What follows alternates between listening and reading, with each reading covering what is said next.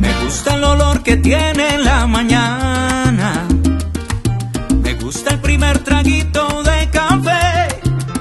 Sentir como el sol se asoma a mi ventana y llenarme la mirada de un... Bueno, Dani, ¿cómo nos ha tratado esta pandemia a ti, eh, eh, pues en estos, en, en estos tiempos, en estos meses que estamos en confinamiento? Pues fíjate que sí, es algo muy desafortunado para todos y más que todo para nosotros los músicos. Imagínate, eh, no tenemos la certeza de cuándo vamos a empezar a trabajar. Y, bueno, han sido, han sido tiempos muy difíciles para todo el mundo.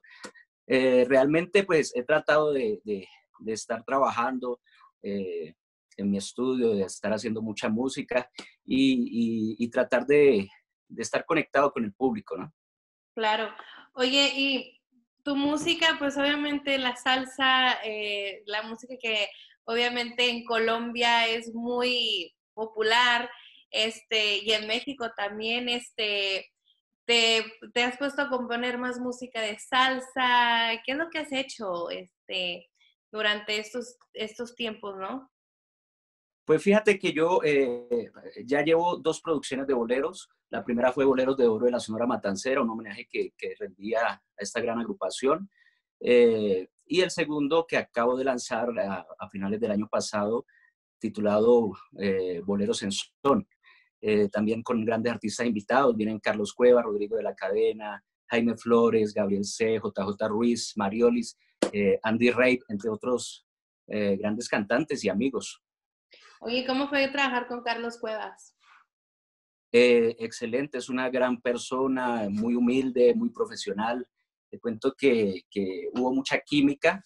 Eh, realmente ya habíamos compartido escenario, estuvimos en el, en el Festival Mundial del Bolero y, y, realmente es una gran persona un, y un excelente cantante. Sí, claro, claro.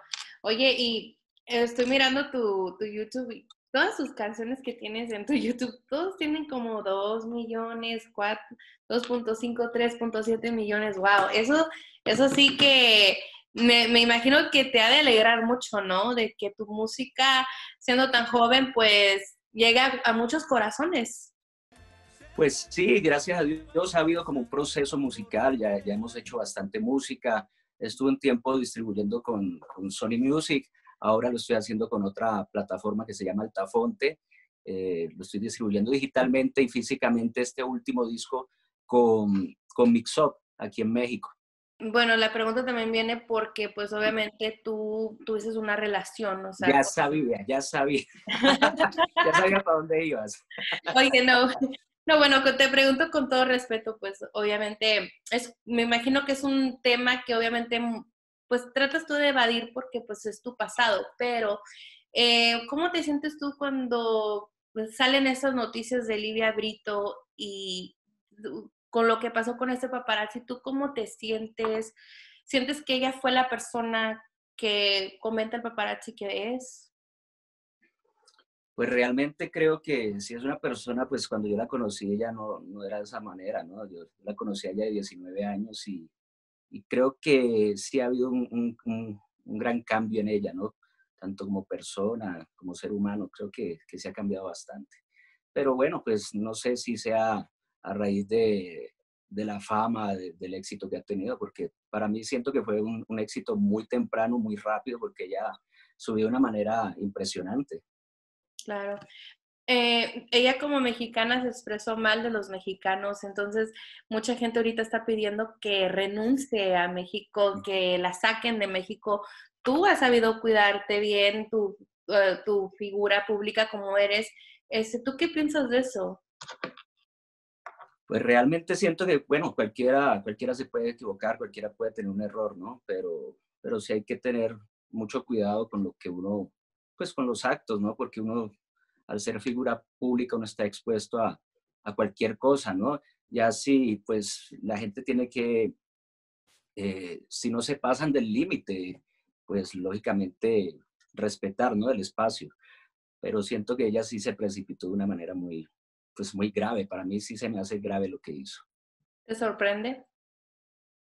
Me sorprende, pues, pues no sé, pues como a raíz de, de los años que, que, estuve con ella, pues yo siento que, que sí hubo un cambio, un cambio radical y, y, y, que de ser una persona, pues se convirtió en otra, ¿no? Entonces, pues la verdad no me sorprende lo que está, lo que está pasando, ¿no? Pues yo lo siento por ella, pero, pero pues imagino que eh, pronto pasará todo esto, ¿no? De alguna forma tendrá que resolver el problema. Claro. Pero le deseo la suerte y que lo resuelva de la de la mejor manera, ¿no? Claro, y me gusta que seas tan caballeroso en la forma de que nos respondes porque de alguna manera ahí vemos, eh, o sea, lo, lo, o sea, el respeto que, que, tienes hacia ella, ¿no? Y algunas veces nosotros queremos ser algo negativo, pero al, pero al final del día vemos algo positivo de lo que tú viviste, ¿no? Sí, claro, o sea, yo creo que todas las experiencias nos dejan algo, eh, muchas cosas positivas, y eh, no todo puede ser malo, ¿no? Entonces, siento que, que de pronto esto es un aprendizaje para ella, ¿no? Lo que está viviendo, pronto para que en realidad ya, ya ponga los pies en el piso, ¿no? O sea, y, y, y no sea una persona como, como altiva, porque sí he sentido que, que se le, le, le, cambió la vida totalmente, o sea, y la forma de ser. Claro. Como algunos se preguntan, ¿cómo una mujer tan dulce puede enojarse tanto? Pues no sé, a veces me pongo a pensar, ¿no será que ella está sufriendo de, esquizofrenia? No sé, de verdad que, que, puede ser algún problema familiar por ahí, ¿no? Claro, claro. Bueno, oye, yo también soy mujer y a veces me enojo y pues, pero no haría tanto así, ¿no? O sea, yo creo que habemos de mujeres a mujeres, ¿no?